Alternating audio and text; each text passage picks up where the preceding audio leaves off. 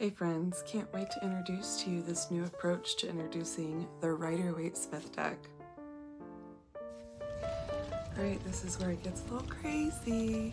So imagine 1909, we're witnessing the creation of the Rider-Waite-Smith Tarot in a room filled with classical music, easels, and the enchanting pixie Pamela Colman Smith herself. Right, and then consider A.E. Waite off to like the left in just his socks, and Pixie asking him, Shall we begin? The beauty of working with Pamela Colman Smith is every single card shows her artistic vision and the area she lived herself. She integrated it all into the deck at the time in 1909. Take, for instance, the Ten of Cups. It's a jubilant celebration, a moment where life's journey crescendos in harmonious joy, and it's painted in vibrant colors of life.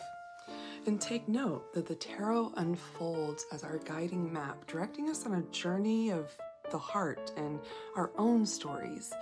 The vibrant tapestry of life continues to weave its enchanting tale. So yeah, yeah, yeah, we've all seen the Rider-Waite-Smith deck. That's old news. Why should we use it? Because it's deep and never ending with artistic vision and Kabbalistic knowledge from A.E. Waite. Blessed be. Thanks for joining us. Like, subscribe, and get your tarot insights anywhere you can put at Awen Ovate.